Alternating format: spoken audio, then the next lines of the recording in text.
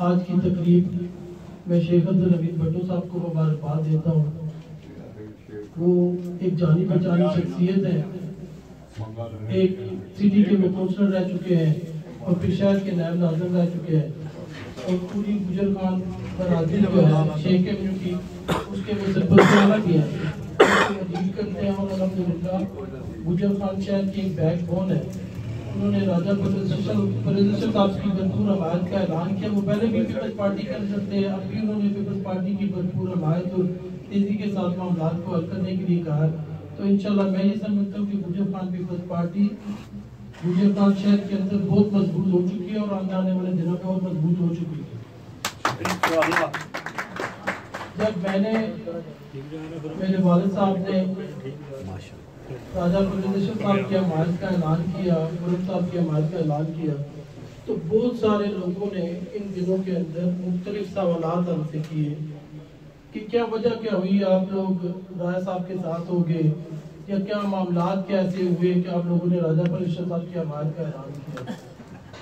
मैंने उनको भी मुख्तलिफ़ लोगों को ये बात वाजह की, लेकिन आज बड़ी महफल के अंदर भी मैं ये बात वाजह करता हूँ कि राजा अशरफ गुजर खान का वो बेटा है, जिसने गुजर खान तहसील को पूरी दुनिया के अंदर रोशनास किया और मैं राजा परवेज साहब के साथ, उनके साथ चल के ये फख्र महसूस करता हूँ कि इन्होंने तहसील गुजर खान के एक छोटे से गाँव में पैदा होकर पाकिस्तान के prime minister of Pakistan prime minister of Pakistan तक ये पहुँचे। गुजर खान के लोगों लिए बहुत फख्र की बात। है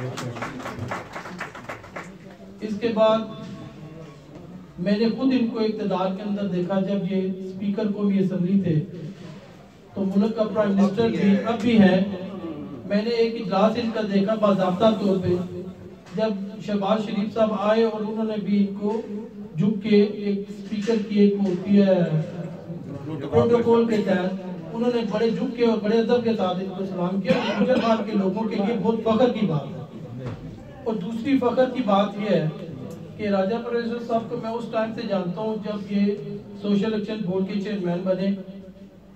इनके अंदर गुजर खान के लोगों के लिए, तहसील गुजर खान के लिए एक तड़प है। जब ये कुछ भी नहीं थे, तब भी तड़प थी। जब ये सोशल एक्शन बोर्ड के चेयरमैन बने तो सबसे पहले जो गुजर खान तहसील के हमारे भाइयों का, बच्चों का जो सबसे बड़ा दलीला मसला था यूनिवर्सिटी का क्या उन्होंने उस टाइम पे यूनिवर्सिटी के लिए एक ज़मीन खरीदी। जब तक जिस टाइम पे किसी भी एम पी ए या सबक सूबाई वज़ीर भी रह चुके थे, जिनके दिमाग के अंदर ये बात भी नहीं थी कि तालीम के लिए हमें यहाँ पे कुछ करना चाहिए 90 की दहाई के अंदर राजा परवेज अशरफ ने गुजर खान के लिए यूनिवर्सिटी की ज़मीन खरीदी। और यूनिवर्सिटी के क्याम के लिए कोशिश की। ये सबसे पहले मैं समझता हूँ कि जो आज बहुत टाइम गुजरने के बाद इन्हीं के हाथों से यूनिवर्सिटी का क्याम लायामल में आ रहा है। ये भी एक बहुत बड़े फख्र की बात है।